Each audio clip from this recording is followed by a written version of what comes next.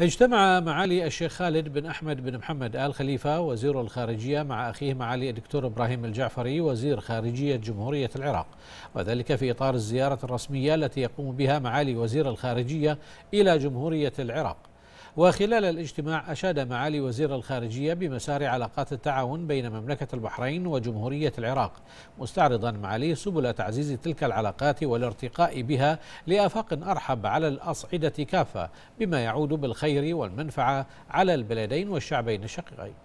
من جانبه أكد وزير خارجية جمهورية العراق على العلاقات الأخوية التي تربط بين مملكة البحرين وجمهورية العراق مثمنا مواقف مملكة البحرين الداعمة لجمهورية العراق في محاربتها للإرهاب والتطرف والعنف وتجفيف منابع تمويله أيا كانت مصادره متمنيا لمملكة البحرين المزيد من التقدم والرخاء.